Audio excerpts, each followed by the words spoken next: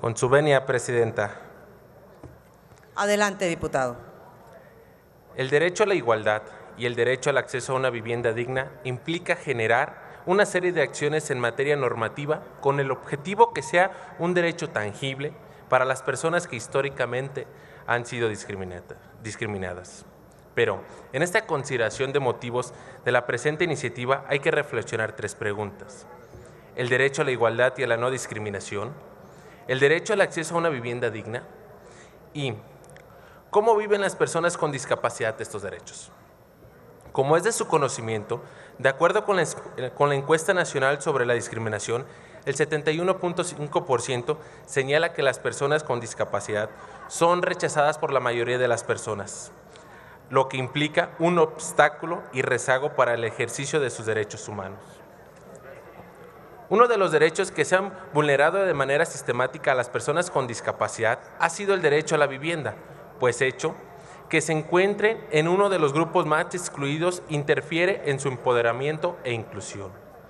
Es así que el derecho a la vivienda no solamente representa una cuestión arquitectónica, sino que es un espacio que permite a cualquier ser humano desarrollar su proyecto de vida en forma digna e integral. Actualmente existen diversos instrumentos que obligan al Estado mexicano a realizar una reingeniería en el aparato institucional para adoptar y hacer efectivos cada uno de los prospectos.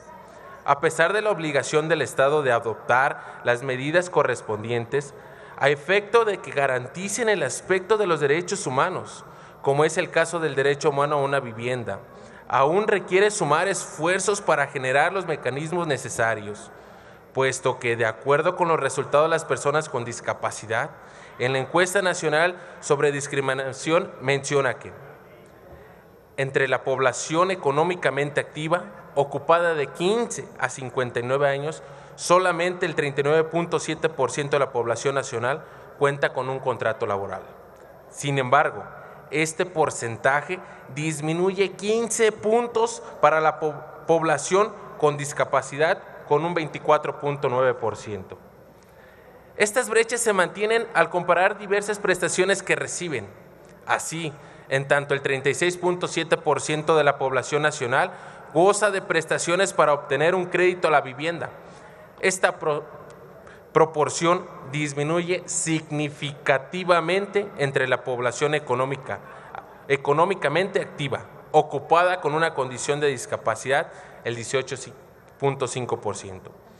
Por lo anterior, es necesario que se impulsen las medidas de igualdad en las políticas públicas para que traduzcan el acceso al derecho a la vivienda. En el Estado mexicano ha sido creado, entre otros organismos sociales, el Infonavit, este Instituto de Fondo Nacional de la Vivienda para Trabajadores por excelencia. Por excelencia, busca en términos generales operar un sistema de financiamiento que permita a los trabajadores obtener un crédito barato y suficiente para la adquisición de una propiedad.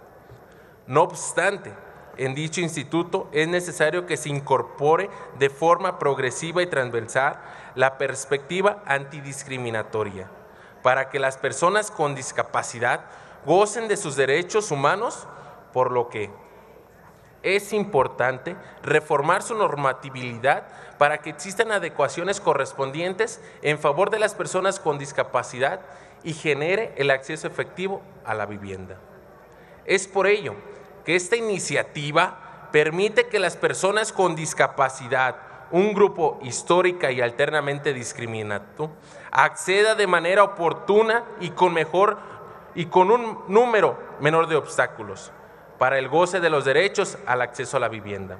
Esta razón, por lo anterior, someto a consideración de esta Cámara el siguiente proyecto de decreto, mediante el cual se reforma el artículo 16 de la fracción novena de la ley del Instituto del Fondo Nacional de, la, de Vivienda de los Trabajadores para que las políticas de crédito deban ser diseñadas y operadas a efecto de las personas con discapacidad, accedan en igualdad de oportunidades en un marco de protección en sus derechos humanos.